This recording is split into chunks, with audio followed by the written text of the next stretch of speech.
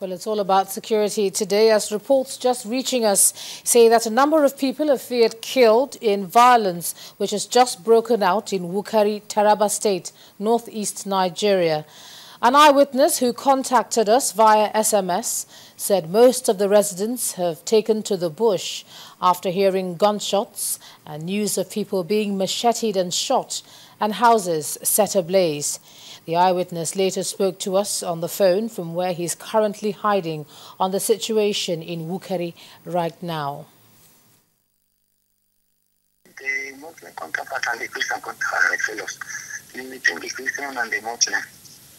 Yeah, and uh, this happened as a result of uh, the dead body of uh, one man they caught from one of the neighboring villages. The man was killed this afternoon. So as the dead body reached the town so everywhere now, everybody now, they, in fact, confusion now started. So people broke into, I mean, fighting each other.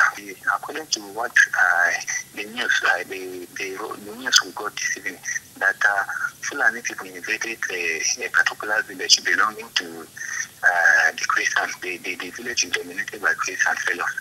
So they invaded the village this afternoon.